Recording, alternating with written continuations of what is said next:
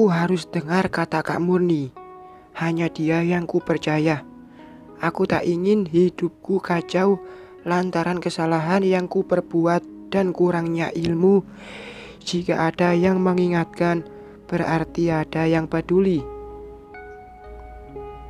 Din, Dinda, Silvi memanggil dari kursi kerjanya. Ku palingkan mata ke dia. Ya, jawabku. Pak Ridwan, ngapain cari kamu? Tak biasanya loh, kepo Silvi keluar nih. Urusan kerja, jawabku datar, lalu melihat layar komputer lagi, meneruskan pekerjaan. Oh, kirain mau melamar. A apa? Tanyaku tergagap. Silvi bangkit dari duduknya, lalu mendekat Kenapa sih nggak bilang kalau statusmu sekarang tunangan Pak Ridwan? Pasti gara-gara mulut Mang Jojo. Seperti gosip seleb aja. Cepat tersium netizen. Udah batal, jawabku cuek. Apa? Bukannya baru kemarin lamaran? Kapan batalnya? Terus kenapa? Mata Silvi membulat. Kali ini ia duduk di kursi depan mejaku. Jangan keras-keras ngomongnya, entar didengar lo. Jantungku terasa mau copot mendengar teriakan Silvi bertanya. Hehehe, sorry, lagian aku tak mampu mengendalikan kepo badai dan kepo tsunamiku. Jawab Silvi, nyengir kuda. Kebiasaan deh, sewotku. Itu aja sensi. Cerita dong. Kula nafas besar, jariku berhenti mengetik. Ku tatap Silvi. Kata Kak Murni, wanita dalam masa idah nggak boleh dilamar. Haram gitu. Masa iya? Kok aku baru tahu ya? Sama, aku juga baru tahu. Ini efek kurang ilmu agama kita lebih menguasai ilmu pembukuan. Kata nenekku, tuntutlah ilmu agama biar selamat di akhirat. Iya, Sil, jawabku pelan. Terus tadi bos ngapain cari kamu? Nanya kabar aja. Cius. Serius, udah ah, sana kerja. Entar dimarahi bos lo. Tunggu dulu, jadi tunangan, eh lamaran batal atau gimana? Caranya gimana? Kok aku baru ketemu kasus ini? Aku balikin cincinnya. Sayang ya, terus diterima bos. Ahem. Astaga naga, Pak Ridwan berdiri di ambang pintu ruangannya. Ia menatap sambil mendehem. Ketahuan deh lagi membicarakannya. Ih, Silvi ceroboh. Eh pak, aku, aku kerja dulu. Lalu Silvi berlari ke kursi kerjanya. Badan bongsornya tak menghalangi cepat kakinya berlari seperti lihat syaitan. Ya pak, ucapku karena Pak Ridwan menatapku. Siap-siap ke PT Abadi.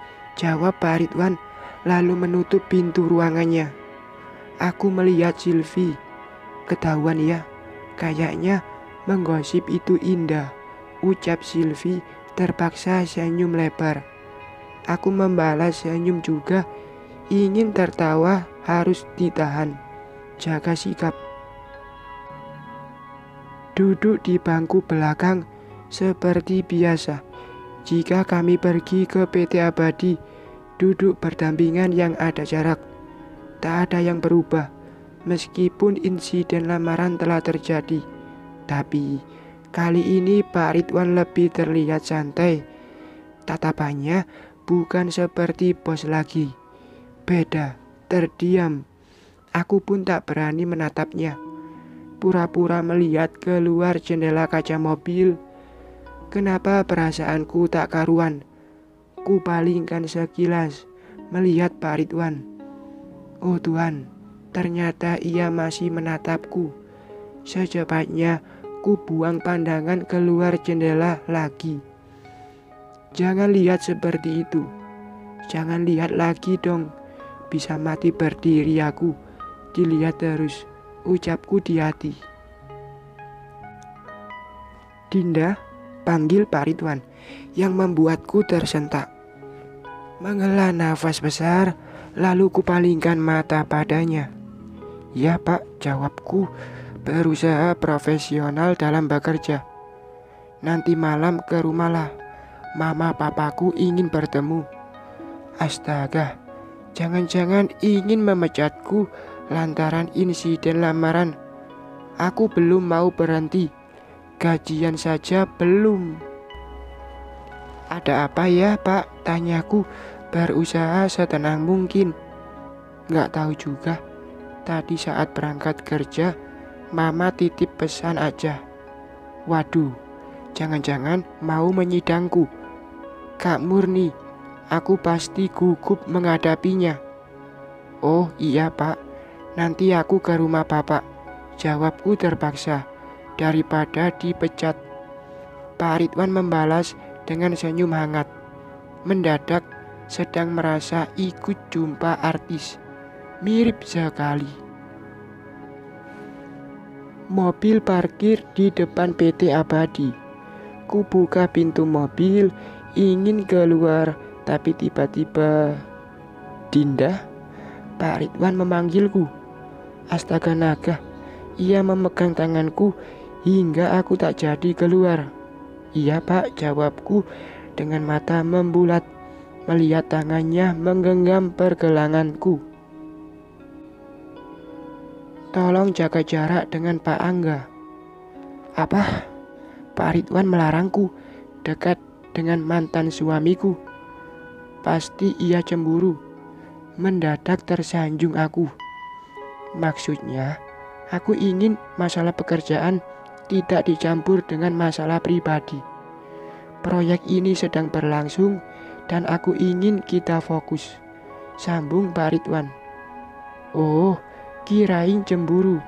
GR aku. Tapi benar juga, ini masalah pekerjaan. Pribadi belakangan. Iya pak, jawabku belan. Pak Ridwan tersenyum lagi, mirip iklan Rio Dewanto lewat. Oh iya pak, ya jawab Pak Ridwan lembut. Aku bisa keluar sekarang, tanyaku, karena tanganku belum dilepas. Oh maaf, Pak Ridwan langsung melepaskan tanganku. Mukanya merah, tentu saja malu. Lagian kenapa juga megang tanganku? Apa dia tak ingat aku lagi masa ida? Kami melangkah masuk Terlihat Debbie menatap sinis seolah aku musuh besarnya. Aku cuek saja. Toh ini bukan perusahaan dia. Akan tetapi, Pak Ridwan menghentikan langkahnya di depan Debbie. Debbie, nanti ke ruangan Pak Angga. Baik, Pak, jawab Debbie sambil tersenyum genit. Tapi saat melihatku lagi, mimik mukanya berubah sinis. Tumben Pak Ridwan bicara dengan Debbie. Terus mau apa juga ke ruangan Kak Angga? Kalau masalah proyek, posisi Debbie tak ada hubungannya dengan proyek. Jadi penasaran. Kini aku dan Pak Ridwan sudah duduk di sofa tamu ruangan Kak Angga. Posisiku duduk di sofa samping kanan Pak Ridwan. Sementara itu, Kak Angga duduk di sofa sebelah kiri Pak Ridwan. Pak Ridwan duduk di sofa panjang. Ini laporan pengerjaan proyek beserta foto di lapangan, Pak. Kak Angga menyodorkan map biru ke Pak Ridwan. Pak Ridwan menerima map itu, lalu membukanya. Oke, aku ingin jasa lapangan lebih giat sesuai jadwal karena ketepatan waktu nilai plus bagi perusahaan ini. Ucap Pak Ridwan. Iya pak, nanti saya arahkan, jawab Kak Angga. Tok, tok, tok. Sejenak mereka terdiam, masuk, sahut Kak Angga, pintu dibuka, ternyata Debbie yang datang memasang senyum manis menggoda. Ia melangkah mendekat dan berdiri di depan Pak Ridwan. Duduk Debbie, Tita Pak Ridwan. Lalu Debbie melangkah ingin duduk, tapi sofa yang kosong hanya sofa panjang yang diduduki Pak Ridwan.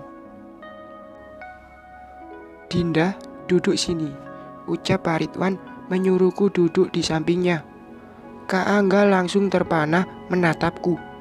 Iya pak, jawabku, lalu beralih duduk.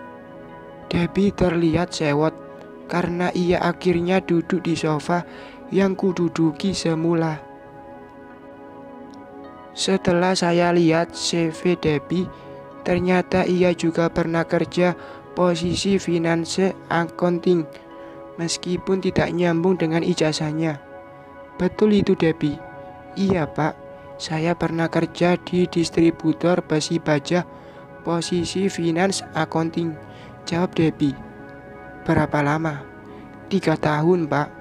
Oke, berarti ada pengalaman di bidang pembukuan ya? Ada pak. Oke, jadi saya mengangkat Debbie sebagai akunting di PT Abadi. Astaga, jadi ini tujuan Pak Ridwan memanggil Debbie. Syukurlah, jadi kerjaanku sedikit ringan. Tapi Pak, bukankah kita ada akunting juga? Tanya Kak Angga. Iya, tapi karena proyek banyak, kita butuh dua orang, Pak Angga. Gimana Debbie? Apakah kamu bersedia? Tanya Pak Ridwan ke Debbie. Bersedia sekali Pak, jawab Debbie terlihat senang. Tentu saja ia naik jabatan. Nanti masalah salari akan disesuaikan. Terima kasih Pak, jawab Debbie dan masih tersenyum lebar. Jadi, urusan laporan keuangan khusus proyek PT Abadi bukan Dinda lagi yang menangani, tapi Debbie. Syukurlah, jadi aku bisa sedikit terhindar dengan mantan suami masalah pekerjaan. Tapi, Pak, Debbie masih baru, jadi saya minta butuh Dinda, sangga Kak Angga. Ih, apa ia tak dengar? Sudah jelas Pak Ridwan katakan ini beralih ke Debbie, kok masih keberatan? Iya, tapi jika Debbie menemukan kesulitan, ia bisa bertanya ke Dinda. Begini Pak Angga, proyek besar kita tidak hanya satu dan mungkin aku juga akan membuka lowongan untuk posisi kepala proyek jadi Pak Angga fokus ke proyek yang berhubungan dengan PT Abadi saja. Yes, Pak Ridwan seperti mengerti aku. Dengan begitu, aku bisa jauh dari mantan suami. Teringat saat Kak Angga bilang, aku wanita. Jantungku terasa panas, ingin menamparnya. Baik, Pak. Lagian aku yakin tak akan kesulitan dan tak perlu bertanya. Aku juga menguasai di bidang ini dulunya, ucap Debbie sambil meliriku. Tentu saja ia tak ingin bertanya karena kami tidak akur. Semua lantaran mantan suamiku. Baiklah, sekarang selesaikan pekerjaanmu. Mulai besok Posisi itu bisa kamu duduki. Baik, Pak. Terima kasih. Lalu Debbie bangkit dari duduknya dan melangkah ke pintu. Pintu ditutup Debbie dari luar. Cukup dulu. Hanya itu yang ingin ku sampaikan. Dan tiba-tiba ponsel Paritwan berdering. Ucapannya tak dilanjut karena menerima panggilan ponsel. Iya, Pak. Oh, iya, iya. Sambil bicara di ponsel, Pak Ridwan bangkit dari duduk, lalu melangkah ke dekat jendela. Ia menelpon sambil melihat keluar jendela. Aku diam memalingkan muka dari Kak Angga. Sepertinya ia ingin bicara. Tatapannya membuatku tak nyaman. Dinda, ibu menyuruhmu ke rumah. Ucap Kak Angga pelan. Mungkin tak ingin didengar Pak Ridwan. Maaf, aku sibuk. Jawabku dingin. Ayolah, jangan gitu dong. Gimana kalau nanti malam kita jalan-jalan dan nginap. Aku kangen memelukmu. Dasar mantan gila. Dikiranya aku janda kesepian mengajakku nginap. Siapa juga yang ingin disentuh lelaki bermulut tajam. Jangan urus hidupku, jangan ganggu aku lagi, ucapku tegas. Jangan munafik. Aku yakin kamu sering nginap dengan Pak Ridwan, apalagi kalau bukan untuk senang-senang. Ayolah, sebaiknya kita rujuk agar kita sama-sama tersalurkan. Kesal, refleksku lempar asbak rokok dan tepat melayang di perut Kak Angga hingga jatuh ke lantai. Asbak kaca itu langsung pecah. Ada apa, Pak Angga? Tanya Pak Ridwan Mungkin ia terkejut mendengar asbak pecah. Muka Kak Angga langsung terlihat tegang. Inilah yang membuatku semakin ingin menjauhi mantan suami. Ia bukan lelaki yang pantas menjadi imamku. Bicara merendahkan, bahkan aku tampak seperti wanita tak berharga di matanya. Tak segan ia berucap buruk padahal masih dalam lingkungan kantor. Ada apa ini, Pak Angga? Tanya Pak Ridwan kedua kalinya. Ia melangkah mendekat. Ehm, um, maaf Pak, saya tak sengaja menjatuhkan asbak rokok. Jawab Kak Angga tanpa ragu. Tapi saya lihat Pak Angga tidak lagi merokok. Tersenggol Pak. Maaf, saya minta OB untuk bersihkan. Kak Angga bangkit dari duduknya, lalu melangkah ke meja menelpon. Pak Ridwan duduk lagi di sampingku. Kula nafas panjang, berusaha tenang. Jika bukan di lingkungan kantor, sudah melayang tambaranku ke pipinya. Pak Angga, tolong urus surat pindah jabatan Debbie Nanti saya tanda tangan. Pak Ridwan bangkit dari duduknya. Iya pak, nanti saya, nanti pasti saya urus. Dalam perjalanan balik ke kantor, aku diam dan masih sulit menahan emosi. Kula nafas panjang agar tensi darah tak naik. Lama-lama bertemu mantan suami membuatku bisa sakit jantung Saking kesalnya, enak saja mau ngajak tidur, dikiranya aku tertarik lagi dengannya. Kenapa tak bisa aku pungkiri rasa menyesal menerimanya dulu? Bodohnya aku, luluh dengan mulut manisnya. Ini jadi pelajaran bagiku agar mengenal terlebih dahulu sikap calon pendamping hidup. Dinda, Dinda. Oh iya, Pak. Aku tersentak. Pak Ridwan memanggilku. Hampir saja lupa sekarang berada di atas mobil bersama bos. Kamu tidak apa-apa. Tidak apa-apa kok, Pak. Jawabku berusaha tersenyum kecil. Jika ada sesuatu yang membuatmu tak nyaman, bicaralah. Mana tahu aku bisa bantu. Iya, Pak, terima kasih. Jawabku pelan. Statusku bukan siapa-siapa Pak Ridwan. Aku tak mau jika terlihat memanfaatkannya karena kurang sukaku melihat Kak Angga. Tapi kalau seandainya Pak Ridwan suamiku, mungkin tanpa diminta, pasti ku suruh ia pecat Kak Angga. Rasa kesal masih terbawa hingga di meja kerjaku. Ajakan masih terngiang dan ingin rasanya ku kampar mulutnya. Kenapa bukan bibirnya yang ku lempar? Batinku menyesal karena salah sasaran. Hei Dinda, Silvi memanggilku.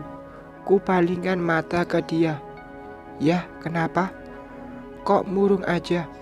Lagi nggak mood, jawabku tak bersemangat. Sana, bikin kopi dulu. Lagi malas.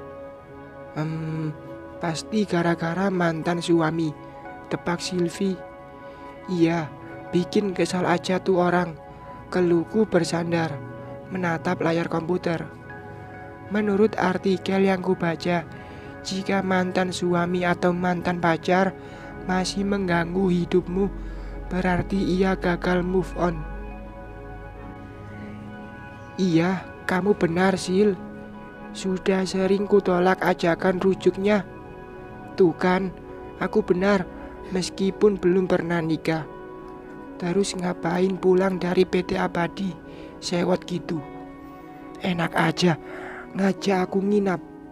Tahu nggak? Ia juga merendahkanku karena status janda. Seakan haus lelaki, seburuk itukah jadi janda? Mendadak hatiku jadi melo. Jangan cengeng, justru kamu harus terlihat kuat dan tidak murahan. Janda juga harus bisa jaga diri.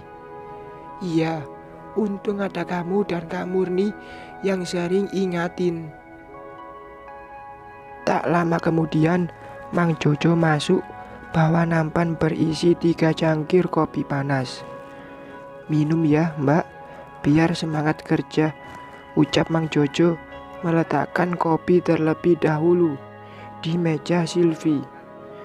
Makasih Mang, barusan ingin bikin kopi. Ini namanya pucuk dicinta kopi pun tiba. Sahut Silvi semangat 45. Merdeka. Mbak cinta aku. Mata Mang Jojo membulat menatap Silvi. Pucuk dicinta itu pepatah, Mang. GR amat, jawab Silvi sewot. Hahaha. Jangan pendam perasaan itu, Sil. Selagi ada orangnya, ya ungkapkan. Sahutku tertawa. Mang Jojo terlihat tersipu malu. Seru juga nih ngerjain Silvi. Apaan sih? Ucap Silvi. Mulutnya membentuk kerucut. Ini kopinya, Mbak Bos. Mang Jojo meletakkan secangkir kopi di mejaku. Shh, jangan panggil Mbak Bos. Nggak enak didengar orang, Mang. Ucapku sambil memukul pundak Mang Jojo. Bisa malu kalau yang lain dengar. Um, Mbak Bos tuh sindir Silvi meskipun mata ke layar laptop. Senang tuh terbalas sahutku. Lalu Silvi tersenyum lebar. Terus kalau bukan Mbak Bos, aku panggil apa Mbak? Seperti biasa aja gimana? Aku pikir dulu ya Mbak. Gak usah dipikir. Awas ya, panggil aku Mbak Bos lagi. Kusumpahi Mang Jojo biar diperebutkan emak-emak sekampung. Emak-emak sekampung berarti bukan gadis sekampung ya, Mbak? Jangan, Mbak. Itu udah untung daripada nggak ada. Maksudnya, jangan sampai nggak jadi. Hehehehe. Hahaha. Mang Jojo diperebutkan emak sekampung. Hello. Mang Jojo idola emak-emak dong. Akhirnya Silvi bersuara. Mbak Silvi, tapi jika Mbak daftar duluan, yang emak-emak ku tolak kok. Jawab Mang Jojo. Spontan, Silvi langsung terdiam. Aku ingin tertawa besar, tapi ku tahan. Jaga sikap, ini kantor. Tapi kehadiran Mang Jojo dan Silvi bisa menghilangkan bad moodku. Ternyata jika kita ada kesibukan, pikiran bisa fresh. Apalagi ada seseorang yang cocok untuk bertukar pikiran. Mimi wajah malu-malu, Mang Jojo masuk ke ruangan Pak Ridwan. Silvi cuek, tak peduli. Hei, tuh Mang Jojo kasih lampu hijau, ucapku ke Silvi. Ih, apaan sih? Amit-amit deh. Gini-gini aku masih pilih-pilih. Udah ah, nggak lucu. Itu aja sensi. Sorry. Mau minta maaf. Ada syaratnya. Hah? Pakai syarat juga. Pas gajian pertama, beliin keripik kentang ya. Pinta Silvi sambil tersenyum manis. Kirain apaan? Iya, iya. Pintu ruangan Pak terbuka. Mang Jojo keluar dengan nampan kosong. Lalu ia melangkah menuju mejaku. Ini mbak, Mang Jojo meletakkan lipatan kertas di mejaku. Ini apaan, Mang? Ku ambil kertas itu. Nggak tahu, tadi Pak Ridwan nitip. Jawab Mang Jojo seperti berbisik. Mungkin disuruh Pak Ridwan agar yang lain jangan tahu. Oh, makasih Mang, jawabku. Lalu Mang Jojo berlalu dari hadapanku.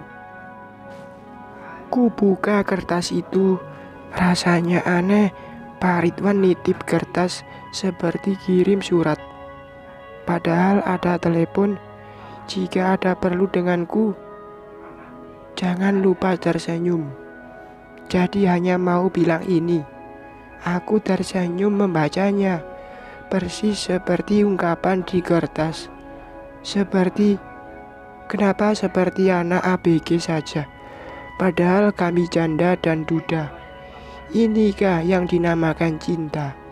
Saat ia datang, bahkan tak malu bersikap kekanakan.